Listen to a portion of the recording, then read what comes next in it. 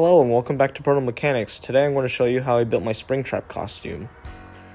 So I built this costume before I discovered EVA foam, so I built the entire thing out of just cardboard and that squishy foam. I always forget the name of it, but uh, I'll look it up one day.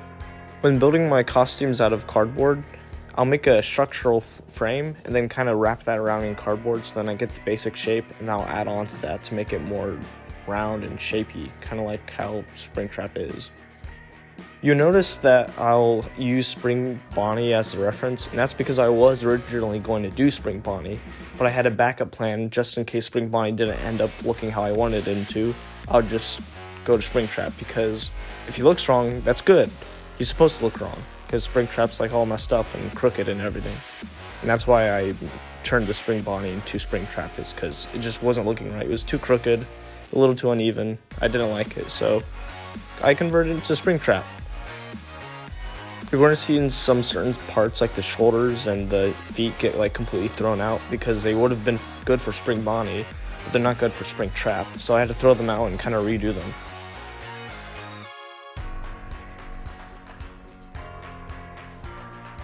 After I got done making everything out of cardboard, I then started to put the foam on, and even some of the fabric. I got a little bit ahead of myself. That's another reason why it didn't turn out good, because the fabric didn't like stretch over very well and it left too many wrinkles.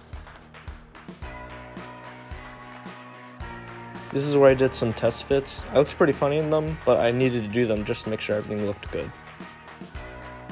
The eyelids are just two pieces of cardboard covered in fabric, and then I just slapped them onto the eyes. And this right here is a test walk. It was kind of hard to walk in them, and there you can see the new shoes. To get like the holes and gashes Springtrap has all over him, what I did is once I got the fabric laid onto it, I got a lighter and lit the foam on fire. Now I do not recommend trying this at home or at any time, but if you do, it was not my idea. What I did is I just kind of lit on fire and kind of let it spread a little, and then I spray painted the inside of it brown to give that nice like kind of icky worn effect. And it was really cool because even if you touched it, it would feel sticky. I'm not going to explain how I did every last bit of it. If you want more information on building FNAF costumes, I recommend you go check out my Freddy video. this is when I made a little kid cry. As you can see, it drew a pretty big crowd, and this is actually what encouraged me to build the Freddy costume.